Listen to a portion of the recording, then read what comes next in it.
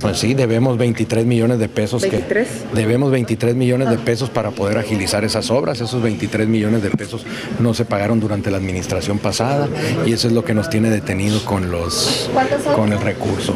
Ah, pues son más de 18 obras que están detenidas precisamente y no y no nada más están detenidas, este, son con recursos estatales, son con recursos federales y son con recursos municipales.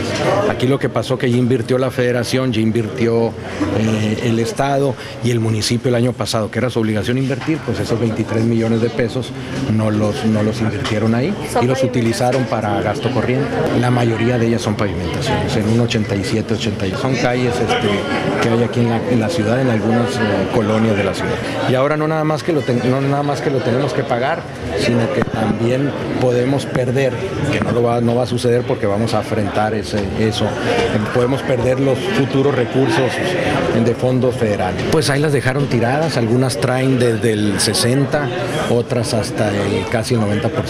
Ahí está el caso del asfalto igual, el asfalto tenemos que pagar una multa de más de un millón y medio de pesos a Pemex para poder acceder a más asfalto y ese millón y medio de pesos de un asfalto que les entregaron a la administración anterior, eh, a pesar de ser irregular lo que, lo que hicieron, la tengo que pagar para que Guaymas pueda tener acceso a eso y luego deslindar responsabilidades, pero en el Inter no podemos estar esperando a, no recibir eh, proyectos hasta de 3, 4 millones de pesos de asfalto porque los señores se lo llevaron o lo perdieron.